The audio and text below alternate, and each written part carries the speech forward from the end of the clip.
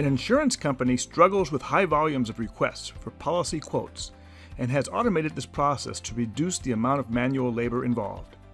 Part of the automation process involves using document automation to extract data from documents.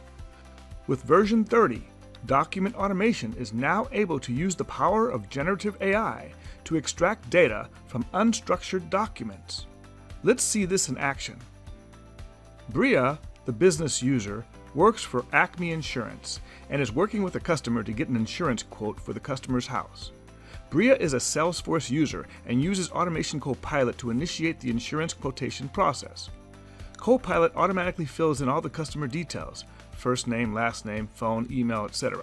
based on Salesforce data, and Bria submits the request for a quote. The automation retrieves data from several sources in order to get information like square footage and number of bedrooms and presents this data in a form for Bria to review. There is also an option to include a fire risk assessment, which uses a fire risk assessment report to make the assessment. Bria selects this option and clicks the link to upload the report, and then selects the desired coverage for the property. She also enters the total value of personal belongings to complete the insurance quote. Then Bria submits the request. Because she attached the fire risk assessment report, the automation must retrieve relevant details from this report in order to complete the assessment. This report is an unstructured document and will use document automation with generative AI to extract information from the report. Let's take a look at the document itself. Bria wants to extract the address, the date, because the report must be relevant to the current time frame, and whether or not there are any high risk or medium risk findings. This report shows an overall property risk of low and a medium risk based on the fencing material.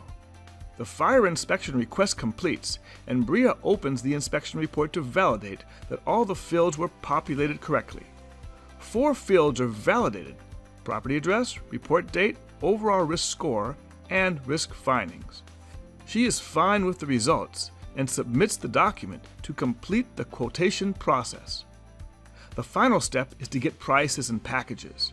Bria is presented with a list of prices and packages for the property in question, and Bria can select a policy, retrieve option details, and review these details with the customer.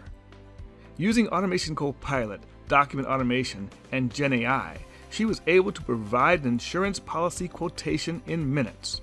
Seamless integration of document automation with the entire platform helps to include data extraction tasks into any business process, leading to streamlined operations and improved efficiency. How did document automation retrieve data from the unstructured document? Marcus is a professional developer, and he created the learning instance for the Fire Risk Assessment Report. Building data extraction models for free-form text documents, which are unstructured documents, requires significant time and resources. Document automation simplifies that complexity and provides a way to set up extraction from any unstructured document within a few minutes.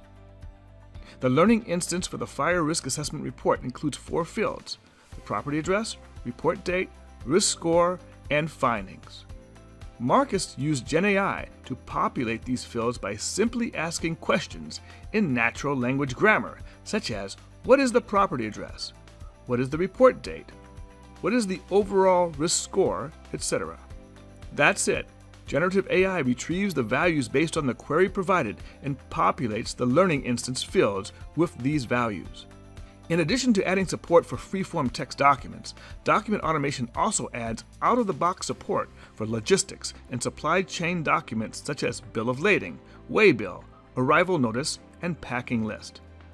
Because Document Automation now supports generative AI and other document types, Bria and users like her can automate the extraction of more documents, thus reducing the amount of manual work necessary and making them more productive.